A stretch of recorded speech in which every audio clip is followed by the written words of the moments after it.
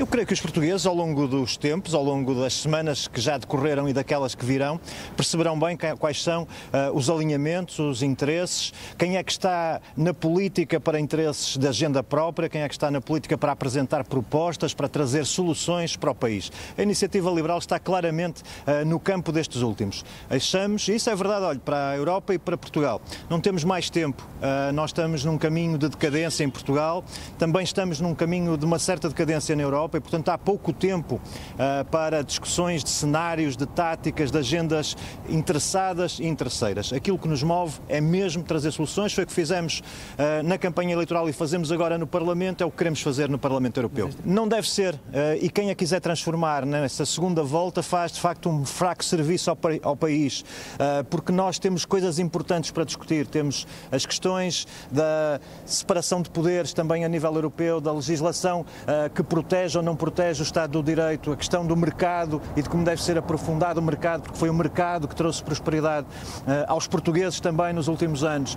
E, portanto, é isso que nós temos que discutir, como é que podemos reforçar o mercado europeu para que os portugueses saiam desta estagnação e possam beneficiar desse aprofundamento do mercado. Isso é absolutamente fundamental. Eu queria também dizer, nós estamos ainda a celebrar a liberdade, os 50 anos da liberdade em Portugal, e a liberdade política é um fator determinante do sucesso do país.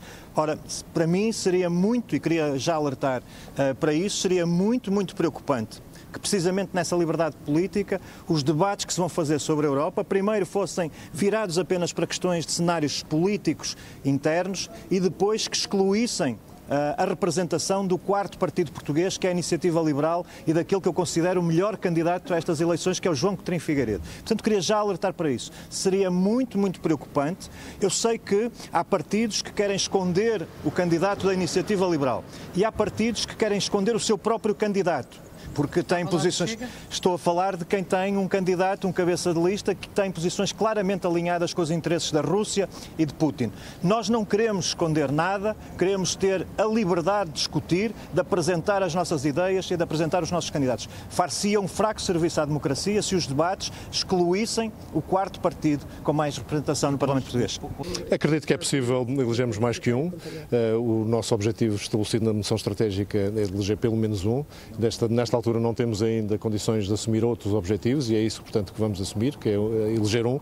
Mas devo-vos dizer que também em 705 deputados que tem o Parlamento Europeu, estar com um ou com dois é muito parecido estar com um deputado único e, portanto, podem contar com aquela irreverência, com aquela vontade que a Iniciativa Liberal sempre mostrou de, chegando com um único deputado ou com dois deputados, fazer uh, a diferença e mostrar que é possível Portugal estar bem representado, estar representado de uma forma competente, confiante, alegre, mas com vontade de mudar aquilo que na Europa tem que ser mudado, porque, repito, durante muitas décadas a Europa foi um espaço de liberdade de paz e de prosperidade, nas últimas décadas já não é tanto assim e tem que voltar a ser e acho que os liberais têm um papel importante nessa, nessa, nessa evolução.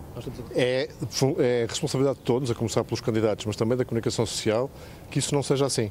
Para nós não é certamente um folhetim de nenhuma novela, não é o primeiro folhetim de uma carreira política futura, não é o último folhetim de uma carreira política passada e não é o folhetim, o segundo episódio de, uma, das, das eleições legislativas e da aquilo que se passou em março. Portanto, para nós, para a Iniciativa Liberal, a candidatura à Europa é a candidatura à Europa para fazer melhor pela Europa.